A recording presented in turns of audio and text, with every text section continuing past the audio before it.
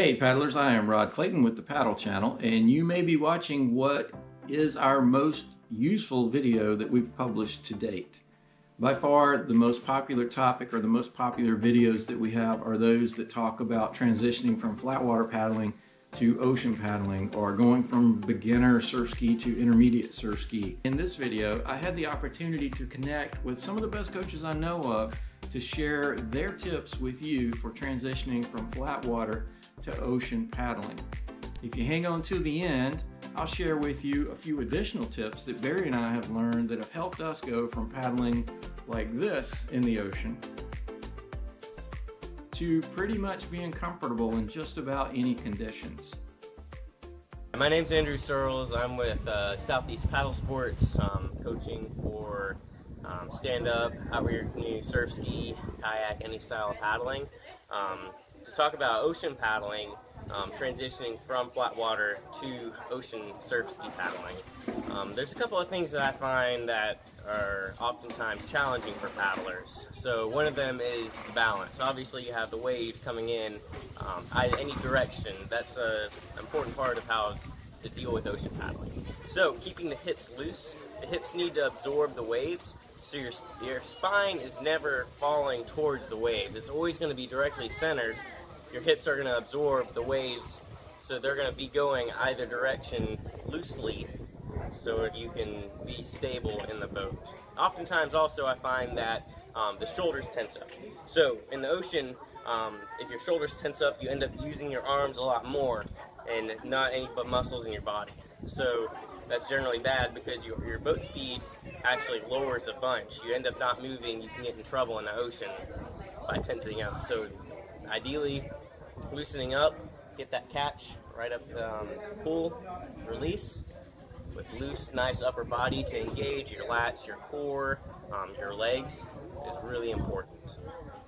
How do you relax the shoulders? You just relax the shoulders? yeah, so a good to thing it? to think about is having your chest up, sitting up tall with your chest, shoulders down. So that gets you in the position of having a, you want to have a relatively straight spine. So if you're leaning up here, the waves are just going to throw you around. You're not going to have control of your body.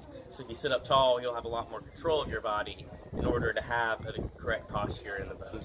What I expect for new newer paddlers in the ocean is don't expect to catch this stuff easily. It's really hard stuff. It's hard to learn how to paddle in the ocean. Um, don't go by yourself. Have someone that's experienced teaching you because um, ocean can be dangerous. Um, I expect that even after attending a clinic, um, you're not going to be the best ocean paddler. It takes lots of practice in the ocean to get really good.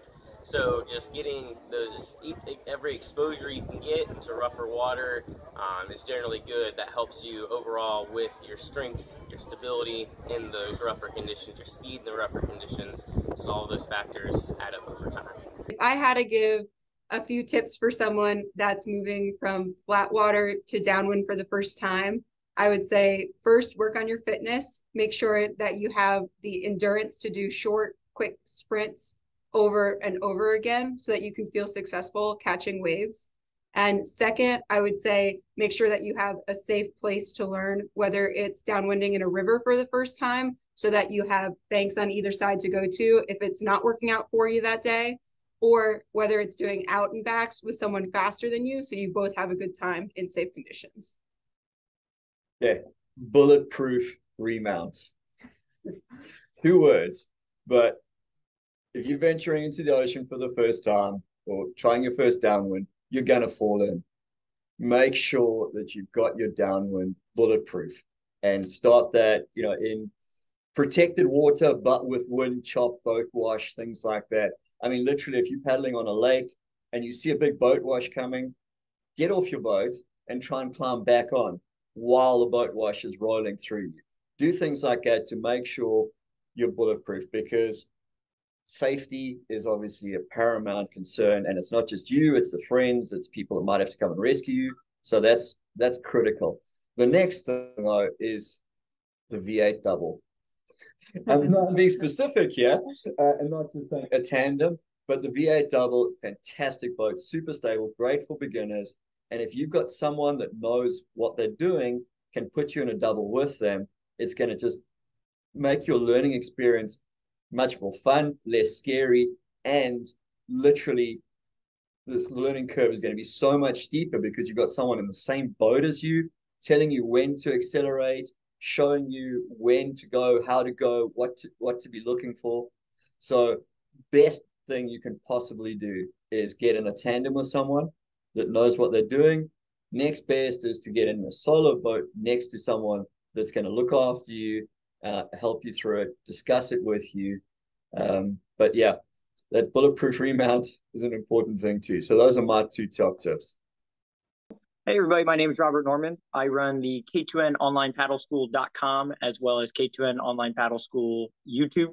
Uh, you can check us out for um, tips and you know weekly updates there. So the topic this week is transitioning from flat water paddling into ocean paddling. Being a paddler that is geographically away from swells and waves, you really have to get creative with making sure that your flat water training translates to ocean success. One of the main things that you can do is challenge yourself in the environment that you do have. A lot of times when it's really windy or the conditions do arise, paddlers will dodge those days. And those are some of the days that will prepare you as you make that transition into the ocean staying relaxed is the primary thing. If you flex your butt cheeks and squeeze your abs and squeeze every muscle in your body, the ocean will knock you around. Being very loose is a learned skill, but it starts mentally, knowing that you want to try and stay loose and relax in environments that are challenging to you wherever you live at. Those are the foundational blocks that you're building on to tackle the ocean. So once you get into really hairy conditions, your heart rate isn't going up and you're not nervous, this is the uh, the first few steps in that direction. All right, thank you, Rod. It's awesome to be here, um, and thanks for having me. I'm looking forward to chatting and discussing a little bit about my side. Um, obviously, come from a, a, rowing background to start with. I don't think it gets any more flat water than that. And then quite quickly progressed into, I suppose, a bit of sprint canoeing and then canoe marathon. And then I think, like many people, once I'd tasted the ocean, I was like addicted. Um, and then flat water just seemed silly. So I think I can relate to a lot of the listeners where you're coming from a flat water background, but it's quite a rocky transition into surf surf ski paddling, especially just with like this endless moving variable of the water and the wind and the waves and um and I did the fatal error that so many people do and that I'm sure so many other coaches have spoken about and that is I let my ego get ahead of me and tried to jump into the speedy racy boat and was quickly and very frequently served humble pie. Um so yeah, I just think it's a no brainer. Like, get into a stable boat.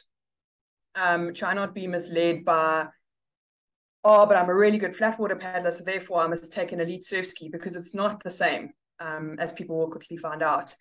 And there's actually a brilliant article floating around at the moment that really unpacks like every feature you could consider from paddler to boat to weight to wind to ocean currents, swell.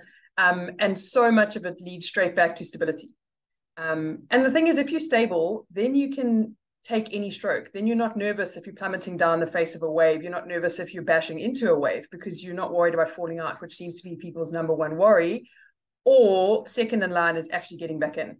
People aren't that scared of falling out. They're worried about whether they can get back in and it's like it's this weird um exponential curve that like the deeper you are apparently the harder it is to get back in your ski. There's this like unnerving fear of what's below you. Whereas if you fall out on backline you're like oh i'll get back in. But if you fall out three and a half k's out to sea you are convinced jaws is currently being filmed and you will be eaten alive.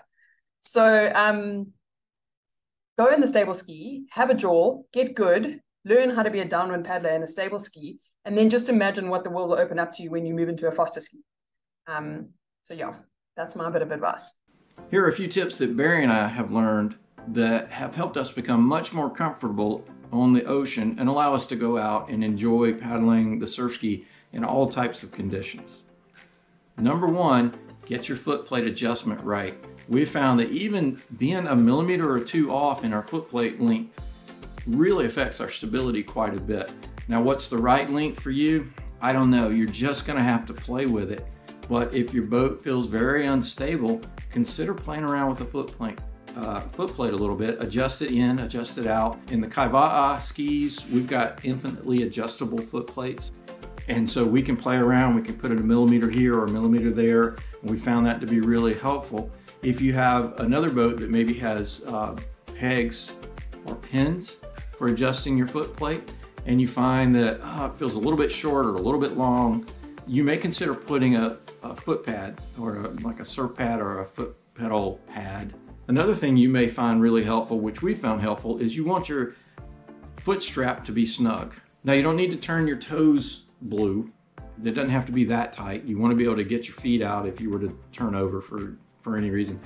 But a nice snug foot strap, it, it really connects you to the boat and it allows you to become part of the boat rather than just sitting on top of the boat. And so as the water moves around, it's almost like you're just, uh, you move with the ocean rather than trying to balance on top of it. And last, or maybe the two things are, are learn how to paddle a wing paddle if that's what you're paddling with. Don't pull it back. Paddle through rotation, and that's a whole nother series of videos in itself. But something that you can start, and that takes a lot of time to master, but something you can stop doing today that will help your stability on the ocean is paddling back too far. So try to get that paddle out early. And this is something to play with on flat water for sure. Experiment with pulling that paddle out 6 to 12, 10 inches further forward sooner than you think you need to. So go ahead and let that paddle flip out of the water uh, sooner than you think you need to. Because once you let that paddle travel back too far, you actually start pulling yourself over to the side. And we found that that really getting the paddle out nice and soon, getting it out nice and quick, really makes a difference in our stability on the ocean. Oh yeah, so one more tip, if you can hear me over the over the birds singing behind me here, is go ahead and fall out of your ski. Uh, when you first start out, if you get out in the water uh, and you're transitioning a little bit rougher water, just go ahead and launch yourself out of the ski, fall out, remount. Once you get wet, you find that you're gonna be much more comfortable uh, in the water and more relaxed. And that's one of the keys is to be relaxed in your surf ski as you're paddling on rougher water. So go ahead and roll out, get that out of the way, and then afterwards you remount, you're already wet, doesn't matter if you fall in again, and just approach your rough water paddling like it doesn't matter if you fall in. And that'll make rough water paddling a lot easier for you. I hope you found these helpful. If you did, be sure to like and be sure to subscribe. By the way, when I was down in Fort Pierce racing in March, to everybody who came up and said the paddle channel was helpful and helped them in their journey, thank you so much. That means the world to us to hear that and makes it all worth it publishing these videos and putting the time putting the time in to put them together for you. So I hope you find this one helpful and I hope we'll see you on the water.